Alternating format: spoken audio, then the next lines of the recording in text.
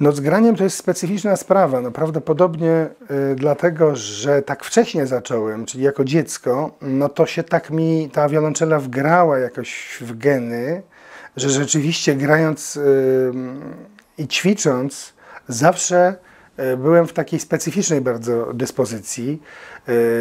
Mm, Myślę głównie o, o, o, o psychicznej dyspozycji, no bo fizyczna to wiadomo, że to jest pewnego typu trening mięśni, e, stawów, ścięgien, e, wyuczone ruchy. No to są takie rzeczy, ale e, zauważyłem, że podczas ćwiczenia ja przypominam sobie o różnych ważnych sprawach, które miałem załatwić albo które mam załatwić, e, które jakby na co dzień w takim biegu pomijam, a jak zaczynam ćwiczyć, wszystko mi się w głowie układa.